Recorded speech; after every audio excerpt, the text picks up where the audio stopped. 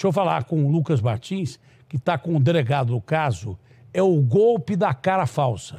Cadê a cara falsa?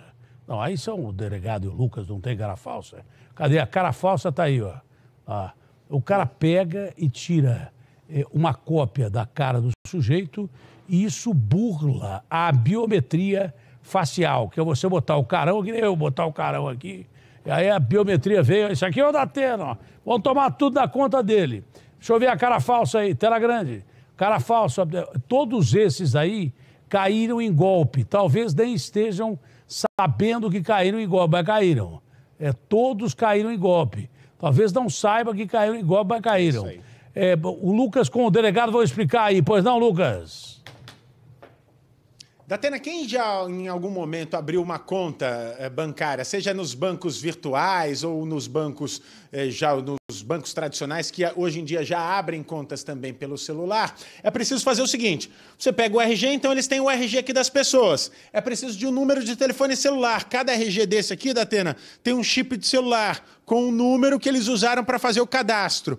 Aqui, 10k, 10 mil, que foi o limite que eles conseguiram nessa conta. Então, eles abrem o nome da conta, uma conta em nome da pessoa e é, fazem isso. Só que na hora de você abrir, ele pede para você ficar na frente do celular e mostrar seu rosto. Aí fica aproxime do seu rosto, a faixa do seu rosto. E eles usam isso aqui.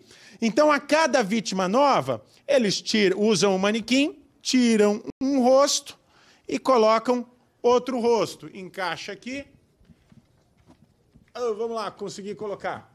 Eles são mais habilidosos que eu. Coloca o outro rosto. E dessa forma, eles vão conseguindo é, arrancar dinheiro dessas Lucas, pessoas. O delegado Lucas, André Schiffman Lucas, é o titular aqui Lucas, da delegacia. Sim, Lucas, Datena. Você quer ver como fica mais fácil você explicar?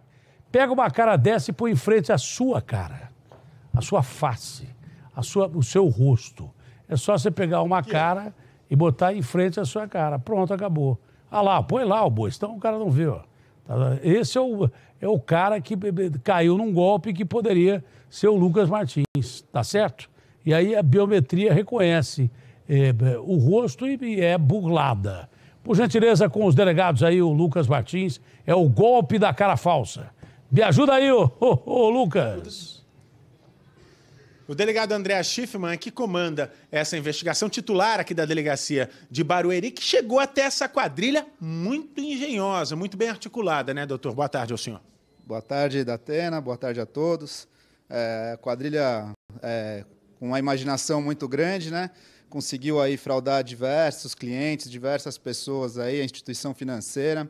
É, se utilizava disso para pedir empréstimo, para fazer financiamentos, pedido de cartão de crédito e etc. Né? Então, conseguiram angariar bastante dinheiro. Tem um detalhe aqui, ó. Vem comigo, Gutenberg. Eu vou tirar aqui algumas fotos da Tena para mostrar. Eles já tinham as maquininhas de cartão, também pedidas com documento falso, também pedidas em nome de pessoas comuns. E quando ele pegava um cartão de crédito no nome desse desse cara aqui, por exemplo, da Atena, ele já tinha o cartão, já passava na maquininha que também estava no nome de uma outra pessoa, também com documento falso. Lucas. E assim arrancaram muita grana. Dá para ter ideia do valor? Pois não, Datena? Aquele cara que está ali atrás, ó. Deixa eu ver de novo ali as caras ali, ó.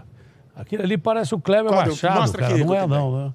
Aquele ali atrás parece... Será que, esse aqui? Será que deram o golpe aqui? no Kleber Machado? Ah, aí não. Aí parece mais o Mauro Naves. Eu é. pensei que era o Kleber Machado que tinham é. dado o golpe dele, lá não. Pois não, pode continuar à vontade. Tem até o Cristiano Ronaldo lá no fundo. Pois não, o, o Lucas. Dá para ter uma ideia, doutor, de valores? Isso está sendo levantado ainda? Olha, a gente está levantando ainda, mas levando em consideração que temos aqui e, e contas aí de 10 mil reais, 20 mil reais, dá para dizer em mais de um milhão de reais facilmente. E com um detalhe, viu, Datena? Todas essas pessoas aqui são vítimas. Esse cabra aqui, esse outro, são vítimas. Muitos podem nem saber que tem uma conta aberta no nome deles, que tem uma dívida enorme no nome deles.